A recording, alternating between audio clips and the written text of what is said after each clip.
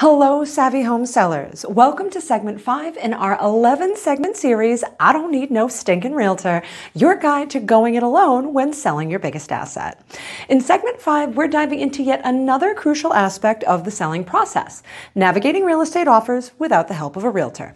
Got your notebook? Good. Let's get started.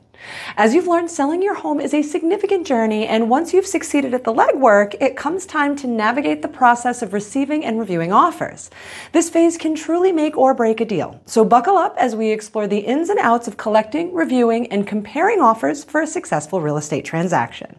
Before we dive in, let me emphasize the impact of a well-managed offer process. It's not just about the final price, it's about reviewing every detail and creating a smooth and successful transaction that aligns with your goals as a seller.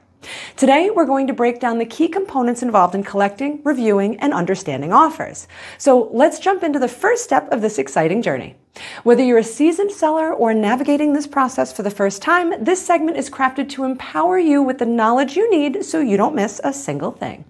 See you for episode one of Navigating Offers Without a Real Estate Agent.